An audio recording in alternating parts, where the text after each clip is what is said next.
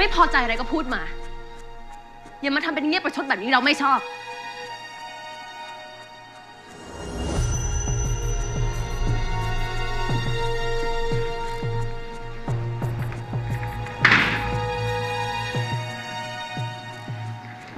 ทำไมกระหม่อมต้องแคร์ในสิ่งที่พระองค์ชอบหรือไม่ชอบด้วยในเมื่อพระองค์ไม่เคยแคร์อะไรตัวเองเลย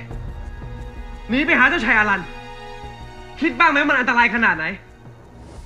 องค์เอาเอกสารลับของทางราชการไปให้คนอื่น นี่ก็ผิด ขโมยรถกระหม่อมไปนี่ก็ผิด แอบเข้าไปขโมยของในห้อง โกหกว่าป่วยหนีออกจากการคุ้มกันของทีมและกระหม่อม นี่ก็ผิด กระหม่อมถามจริงๆเถอะถ้ากระหม่อมตามไปไม่ทัน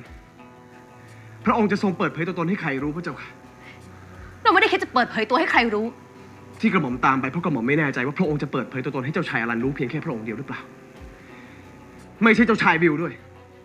ทำไมเราต้องไปหาพี่วิวด้วย ก็เพราะพระองค์บอกเองว่าพระองค์เชื่อใจ ไว้ใจเจ้าชายบิลอาจจะอยากขอความช่วยเหลือก็ได้ ที่สรุปนายโกรธเรื่องเอกสาร หรือเรื่องพี่วิวกันแน่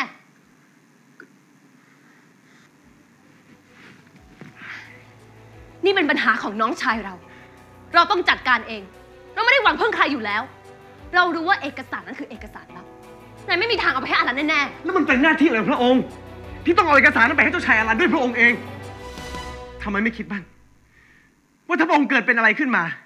กระหม่อมทีมกระหม่อมเจ้านายกระหม่อมจะเดือดร้อนขนาดไหนๆสรุปที่พูดมาทั้งหมดเนี่ย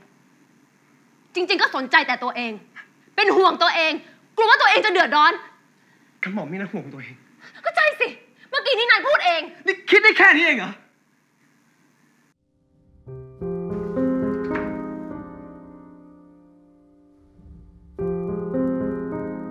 คิดได้แค่นี้ก็ตามใจแล้วกัน พระองค์เคยบอกว่าพระองค์ไว้ใจกระหม่อม แต่นี่ไม่ใช่การกระทำของที่ไว้ใจกัน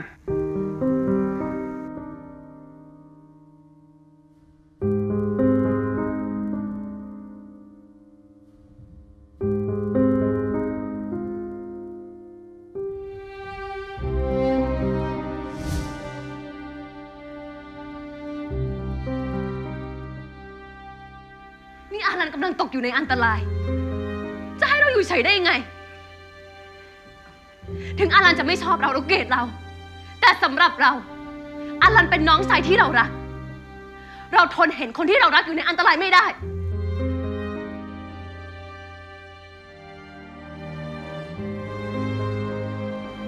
ถ้าเราเป็นอะไรไปจากสิ่งที่เราทำ เราขอรับไว้คนเดียว เราไม่ยอมให้คนของนายเดือดร้อน เจ้านายของนายทีมนายรวมถึงตัวนายเอง นาทีกับผู้